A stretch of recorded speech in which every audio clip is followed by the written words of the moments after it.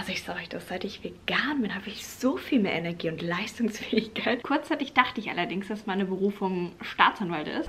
Die Vorlesung wirklich, es war so langweilig. Naja, auf jeden Fall geht es mir gerade überhaupt gar nicht gut. Ich muss mich gerade wirklich ein bisschen ähm, zusammenreißen. Ja, soll ich nochmal wegen der Bauchschmerzen jetzt nicht zeigen, ne? aber ich glaube, ich platze gleich. Ich muss jetzt erstmal aus meiner engen Jeans raus. Und jetzt streikt mein Körper ein bisschen. I don't really know what's happening. Es wird ein Jammer-Vlog. Ja, heute wird ein Jammer-Vlog.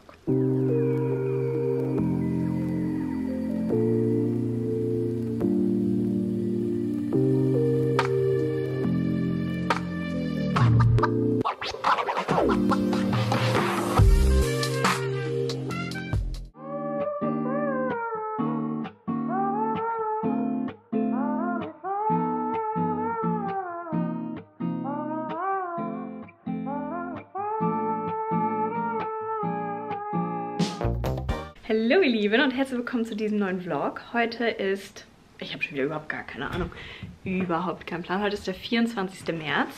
Ähm, ja, den März neigt sich schon langsam dem Ende, aber es gefällt mir, denn es wird immer wärmer. Es ist richtig geil. Heute Morgen war ich laufen. Es war erstmal ein super, super geiler Run und äh, da wird es jetzt morgens einfach wieder früher hell und es ist schon warm. Also heute Morgen um 6 waren schon 8 Grad. Das, das finde ich crazy und das finde ich richtig geil, weil man im Winter immer nicht so früh laufen gehen kann, weil also im Dunkeln sehe ich mich nicht rennen. Ist nicht so, als hätte ich es nicht schon mal gemacht, aber es ist nicht geil. Naja, okay. Auf jeden Fall hatte ich einen richtig geilen, richtig, richtig guten Run. Ähm, also ich sage euch das, seit ich vegan bin, habe ich so viel mehr Energie und Leistungsfähigkeit. Nein, Spaß. Aber ähm, tatsächlich sagt das Buch How Not to Die, ich werde davon jetzt die ganze Zeit quoten, also ich hoffe, das ist für euch in Ordnung, dass man ähm, schon super schnell Unterschiede in der Ernährung merkt oder Unterschiede na, wie sagt man jetzt, dass man ähm, sich anders fühlt aufgrund von der Ernährung. Und es ist halt auch scheißegal, solange ich davon total überzeugt bin, funktioniert es ja. Wir lieben einfach unsere äh, Gehirnfähigkeit. Naja, also das ist auf jeden Fall hier die Lage. Ich habe jetzt gerade eine Vorlesung. Ähm, und dann werde ich gleich mal frühstücken. Dann fahre ich später zur Uni, werde heute mal wieder ein bisschen produktiv und werde was lernen. Ja, aber es geht mir richtig gut. Also heute ist ein toller Tag. Das Wetter macht mich einfach richtig happy. Es soll nur 20 Grad werden. Macht euch mal einen Begriff. Ja, richtig, richtig geil. Ich hatte euch gerade schon mal auf Instagram gefragt, was euch lieber ist, wenn ich euch mehr bei Instagram oder bei YouTube mitnehme. Also entweder mehr in der Story halt oder mehr Vlogs. Ähm, und da wollte ich mal fragen, wieso die Stimmungslage ist. Hier jetzt auch nochmal bei YouTube. Also das könnt ihr mir sehr gerne schreiben. Es würde mich mal total interessieren, weil ich beides gern mache. Ich weiß halt nur nicht, ob das halt zu viel ist, wenn ich quasi alles, was ich auf Instagram dann schon mal gesagt habe, auf YouTube nochmal erwähne. Deswegen wollte ich mal fragen, ähm, was da so eure, eure Meinung dazu ist. Ja, genau. Ansonsten geht es mal wieder zurück in die Vorlesung. Und ähm, ja, ne? Genau.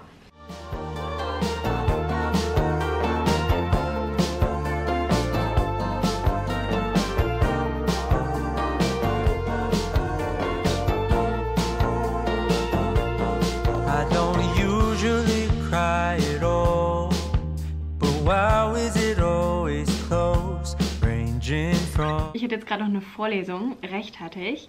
Also ich muss sagen, es ist schon spannend, aber ja, es ist nicht so meins. Ich muss sagen, ich wurde gefragt, ähm, was ich sonst studiert hätte, wenn ich jetzt nicht BWL machen würde. Und ich muss sagen, also für mich war das eigentlich immer eine fixe Sache. BWL, also es ist geil. Ich gehe darin auf, es ist meins. Aber kurzzeitig dachte ich allerdings, dass meine Berufung Staatsanwalt ist. Und dann war ich so, mein Gott, muss ich Jura studieren? Aber ich merke jetzt, das wäre auf jeden Fall nicht meins gewesen.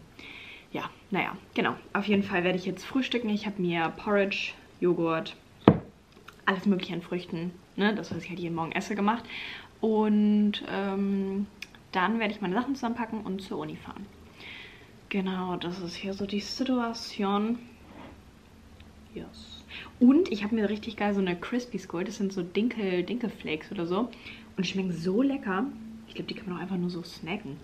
Super nice. Jetzt ready, es ist richtig warm, deswegen habe ich... Naja, die sieht halt richtig dick aus. Vielleicht ist die auch wirklich ein bisschen zu dick.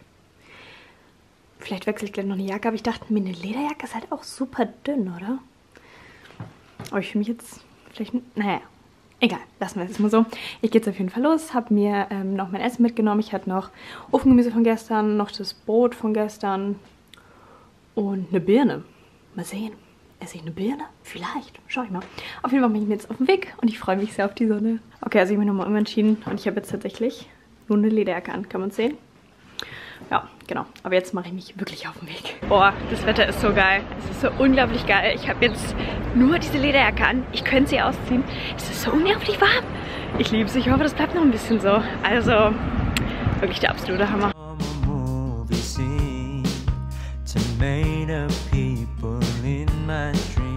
Liebe Leute, ich bin jetzt auf dem Heimweg. Ich hatte eben noch eine Vorlesung. Die Vorlesung wirklich, es war so langweilig. Und ich finde, es gibt nichts Schlimmeres, als ähm, wenn so ein Professor den Unterschied zwischen wichtigen und unwichtigen Details einfach nicht, einfach nicht, keine Ahnung, ausdrücken kann. Und dann so Beispiele bis ins letzte Detail bespricht, wo man sich so denkt, Alter, ja, wir haben den Punkt verstanden. Heute dann auch so ähm, meinte irgendwie viermal von wegen, ja, wenn man durch eine größere Zahl teilt, dann wird das Ergebnis kleiner. Und das hat er so achtmal erklärt und ich war so, ja, also das, das ist ja irgendwo auch klar. Naja, auf jeden Fall geht es mir gerade überhaupt gar nicht gut. Ich muss mich gerade wirklich ein bisschen ähm, zusammenreißen in der Bahn. Das war ganz crazy. Also, äh, ja, ich habe voll die Bauchschmerzen. Das ist so schlimm. Ja, also ich muss mich jetzt mal hier ein bisschen, ich muss jetzt mal kurz wegatmen. Bin jetzt aber auch gleich zu Hause. Und dann melde ich mich nochmal. Ja, soll ich nochmal wegen der Bauchschmerzen? Alter, es ist so schlimm. Ihr macht euch gar keinen Begriff. Ihr merkt doch, ich bin an einem Punkt angekommen, ich rede mit euch einfach über alles. Und ich hoffe, das ist in Ordnung. Nee, ich bin gegen Tabuthemen. Also es macht die Sache ja einfach nicht besser, ne? es ist ja einfach so. Es ist so schlimm. Ich habe das jetzt irgendwie seit Corona. Das ist mein Bauch immer, es ist ein bisschen weird. Es ist so, egal was ich esse, er rastet komplett aus. Und ähm, ich hatte das schon mal, deswegen weiß ich jetzt nicht, ob es an Corona liegt, aber so ich glaube, es war so eine Woche nach dem Fasten oder so, da hatte ich das auch für ein paar Tage. Und es war wirklich schlimm. Ich saß gerade in der Bahn, ich hatte so richtige Krämpfe und ich war so... Oh. Auch beim Gehen, also ich, ich weiß nicht, was hier jetzt Phase ist. Was ich mir gedacht habe, es könnte vielleicht daran liegen, dass ich momentan super viel unterschiedliches Obst und Gemüse esse. Weil das habe ich nach dem Fasten auch gemacht. Vielleicht liegt es daran, dass mein Bauch einfach ein bisschen überfordert mit ist. Aber ich möchte es jetzt nicht zeigen, ne? aber ich glaube, ich platze gleich. Ach, das kann man eigentlich echt keinem erzählen. Naja, das ist auf jeden Fall die Stimmung. Und ich habe halt Hunger, aber ich weiß jetzt nicht, was ich essen soll, weil es nach jedem Essen einfach scheiße ist. ja, das sind jetzt hier gerade so meine Problemchen. Es sind keine Problemchen, es sind Probleme. Ja, naja. Also das ist jetzt hier die Situation. Aber was ich eigentlich wissen möchte, hat da irgendjemand Erfahrung, Tipps? Ich brauche alles. Also ich möchte jetzt auch nicht zu sehr ins Detail gehen, aber meine Verdauung ist in Ordnung. So, so viel sei gesagt. Ähm, und da gibt es ja auch einfach super gute Mittel. Ne? Da bin ich im Game. Also Leinsamen, Trockenpflaumen, gebt mir alles, ich weiß Bescheid. Aber sonst, ich, ich weiß echt nicht, was ich tun soll. Ich hoffe, dass sich das einfach in Luft auslöst. Was ich auch jetzt wirklich unbedingt mal machen möchte, ist ein Test bezüglich der Intoleranzen, weil ich das einfach mal abchecken lassen möchte. Ich habe das Gefühl, irgendwas läuft hier nicht ganz rund. Naja, genau. Okay, genug zu diesem Thema. Aber haben wir darüber jetzt auch mal gesprochen, oder?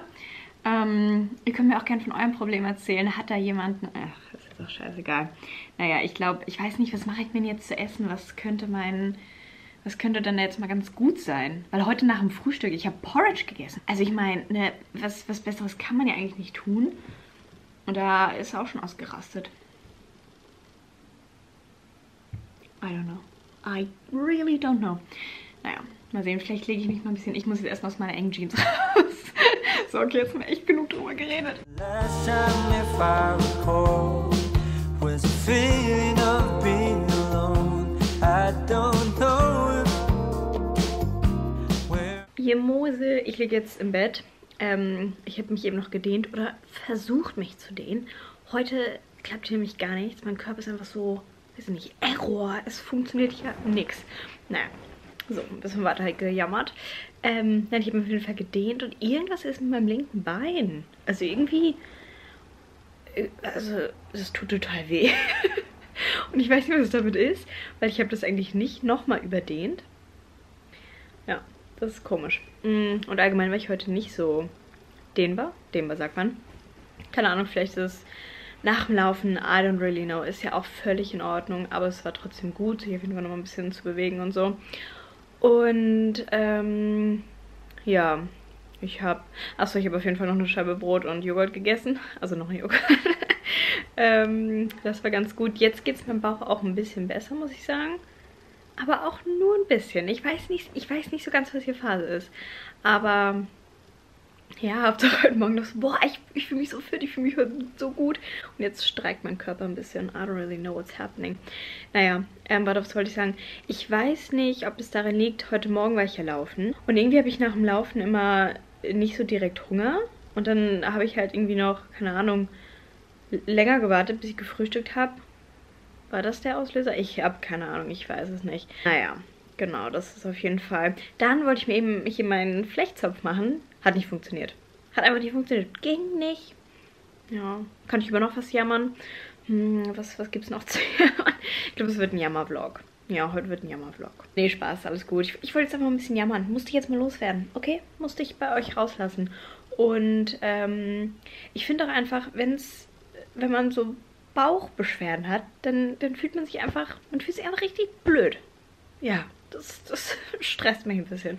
Aber das wird sich schon wieder einrenken, sag ich so. Und ansonsten gehe ich jetzt, glaube ich, auch gleich pennen. Ich bin schon wieder richtig müde, aber ich schlafe momentan richtig gut. Das ist sehr geil, das bringt Spaß.